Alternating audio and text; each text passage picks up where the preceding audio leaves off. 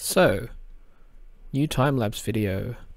This one is um for another ChamBOOK volume 2 sale. Uh, the person who is also on Patreon uh, requested Nicholas D. Wolfwood of anime series Trigun. It's been a while since I'd seen this anime actually. Uh, really fun. Really enjoyed this anime. He wasn't exactly my favorite character, but then again, I kind of liked all the characters of that show.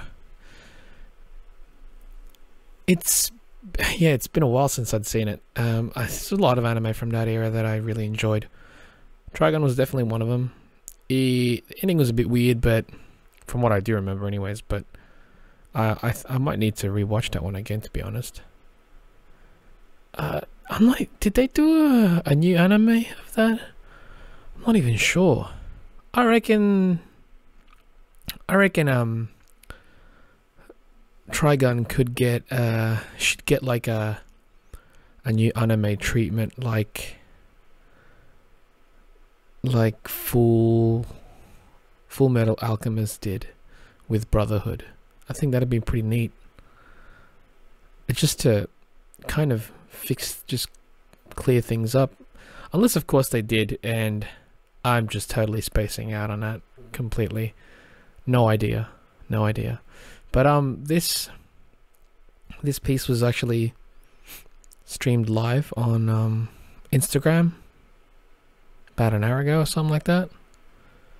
Uh I probably should have edited this sooner but I've been preoccupied by other things.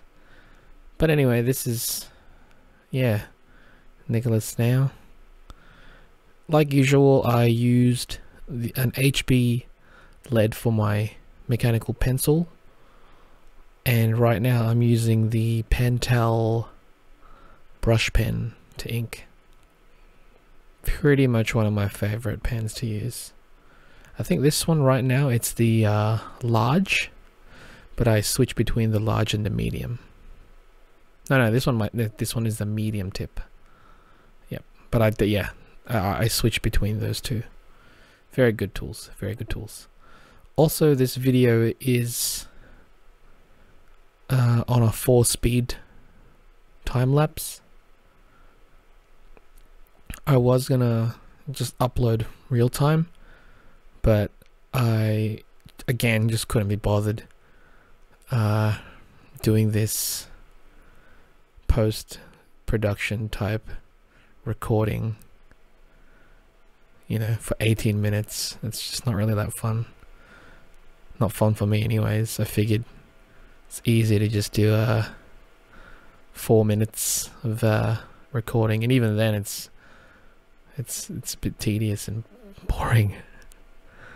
You could honestly just be playing music at this point, and if anything, I probably should just be playing music, but you know what? Screw that.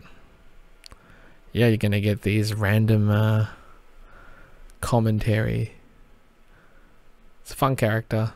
Uh, yeah, I figured I should go back to the actual um, back to talking about the actual piece. Um, I'm the effect that I'm use doing for the hair is like this. It's almost like a dry brush type effect. It's where you you know using the the pr the pressure of your hand, you can pretty much achieve some gradients and just some fine brushwork.